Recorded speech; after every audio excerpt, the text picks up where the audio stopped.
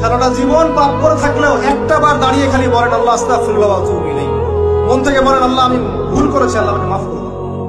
এক মুহূর্তের মধ্যে আল্লাহ পাক আপনার সমস্ত গুণাগুলোকে নেকিতে পরিবর্তন করে দিবেন